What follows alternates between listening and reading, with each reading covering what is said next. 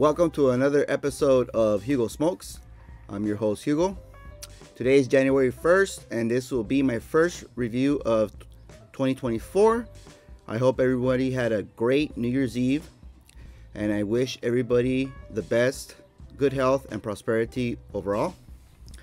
Today I'm going to be smoking the La Colmena Black Honey by Warped Cigars. And this is a 5x48 Belicoso with a Ecuadorian Habano Oscuro wrapper, Ecuadorian binder, and fillers from uh, Dominican Republic and Nicaragua. I'm pretty excited to smoke this cigar. Um, as a lot of you may know, there's been a lot of hype uh, be because of this release. Uh, the previous release was in 2017, so it's been six years. And I believe prior to that, there was a release in 2015. So for that, I'm excited. I actually acquired a box of these. Before I go ahead and start smoking this stick, let's take a closer look at it. Okay, let's take a closer look at this cigar. So first, let's see what the what the color is on the wrapper. Um, based on this chart, it looks like it's gonna be a Colorado, which is that one there. And the shape, I hear it's a combination between the Piramide because of the tip and lengthwise the Robusto or Campana. Okay.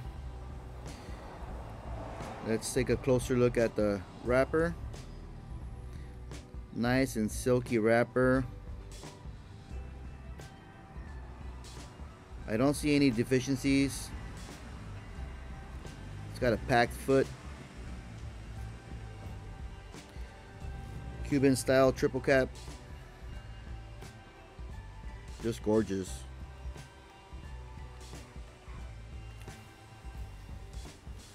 All right, let's take a look at the humidity inside.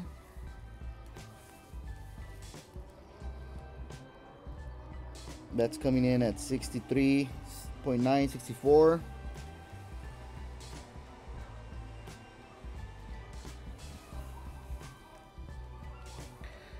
Sixty-three and a half at the tip. Okay.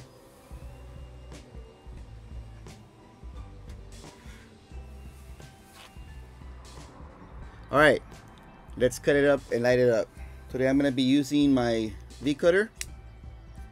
Link is in the description for this one.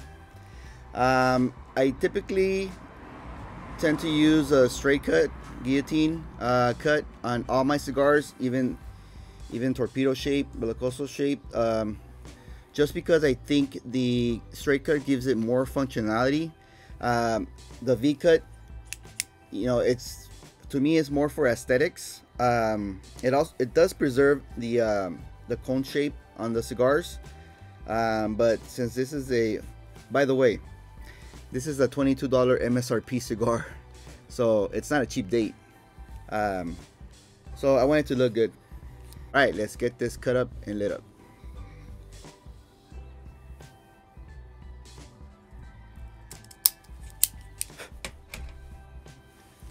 Go, nice clean cut.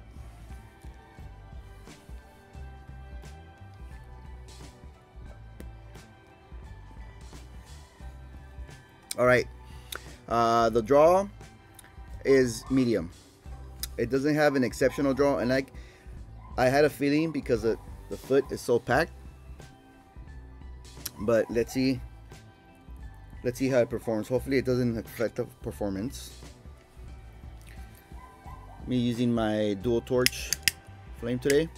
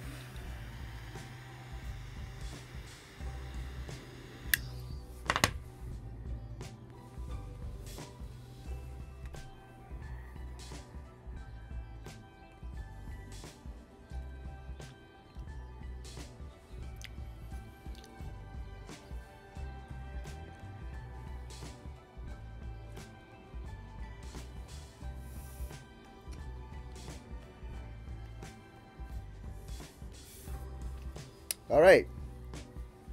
So, right off the bat,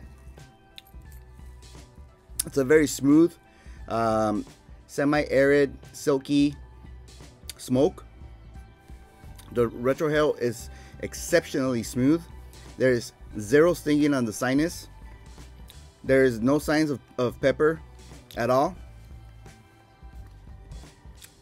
It's a tasty, creamy, sweet tobacco.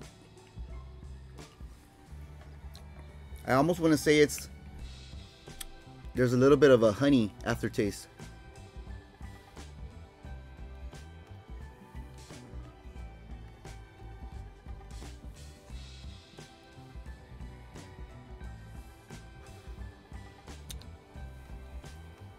Okay, there's not a lot, a lot of smoke.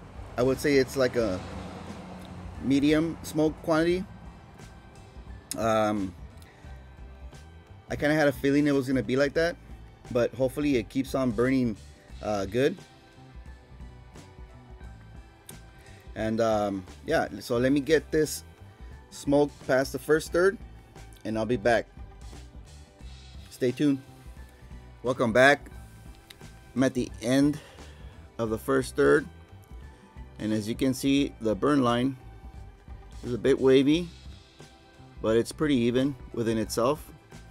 The ash is nice and stacked. Nice white ash. Uh, smoke production is still moderate.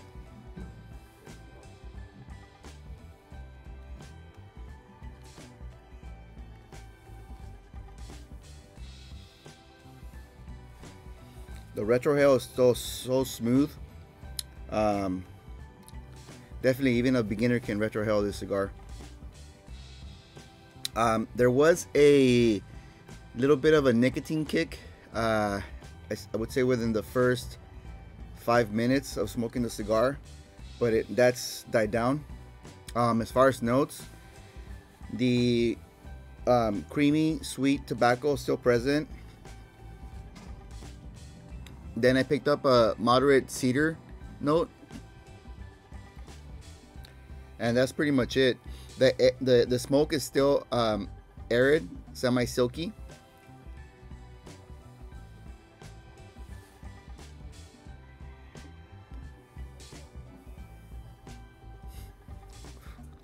It's just a very slow burning cigar.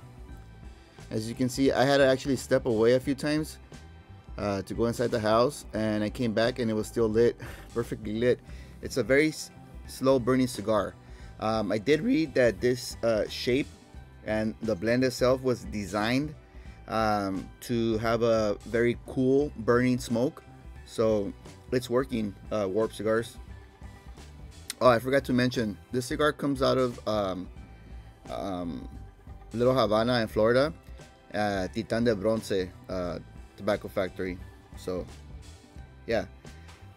So let me keep keep on smoking this cigar past the second third and I'll be back for Welcome more. back. I'm at the end of the second third of this black honey.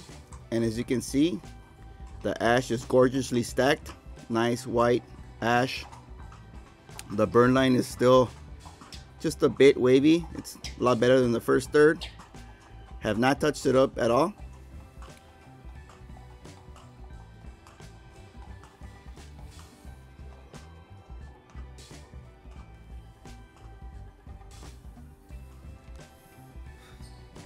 Smoke production is still good. Retrohale is just a bit stinging in the sinus. Um, as far as flavors are concerned, it's still a sweet, creamy profile. Uh, however, uh, no more cedar, but I am getting a delectable chocolate note and uh, underlying pepper note.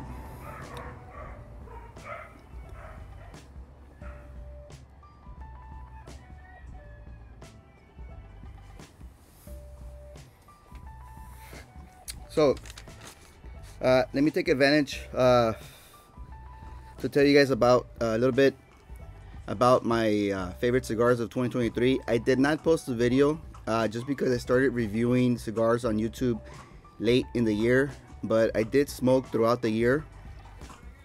Um, of the most memorable, Um, it would be the La Flor Dominicana La Noir, um, Ferio Tego Prestige, Perdomo 10th Anniversary Champagne, um, La Aroma de Cuba Mi Amor Reserva, Warped Upper Realm, and La Paulina. The Paulina, I think it was a Maduro. So yeah.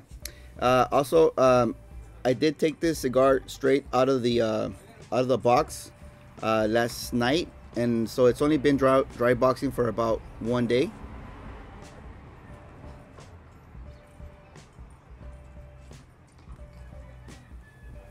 So because of that, I would say it's performing exceptional. All right, let me smoke this down to the end of the cigar, and I'll be back. Welcome back. I'm at the end of this black honey cigar. As you can see, the burn line, I would say this is razor sharp. So it performed very well. Um, by the way, it just ashed before this take.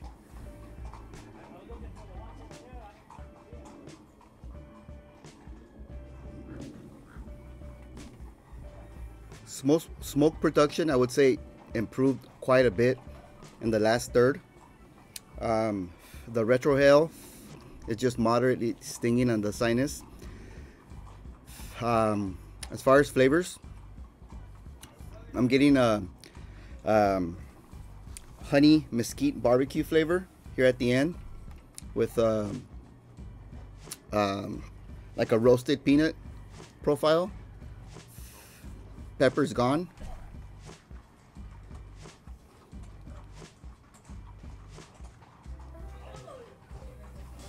However, there is a little bit of a kick of nicotine at the, at the end here. Um, so, overall, uh, there was some layers of hard draw. And I believe that is due to the cigar being rolled by expert Cuban rollers. And as many have you, many of you have experienced, um, you know, Cuban cigars are usually well packed. And um, from my experience uh, sometimes have like a like a hard draw on them. Uh, so yeah but it does have a semi-complex profile um, I believe that it will definitely definitely improve on the draw uh, if you give it some rest um, I do like that the cigar is very smooth throughout. Um, you know, uh, I never wanted to like give up on it or nothing like that. It's just the smoothness just really attracted me.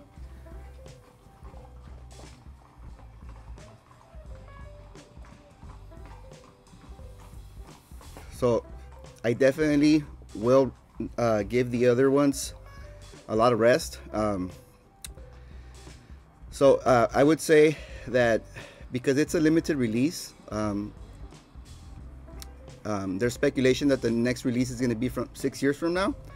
So I would say that pick yourself up at least a five pack. Um, if you're patient like me, get yourself a box. But um, the rating today would be a five pack at least. and I'm looking forward to uh, smoking this at the end of this year and see how it improves. Again, thanks for watching and don't forget to like, comment, and subscribe. And hope you guys have a great beginning of the 2024.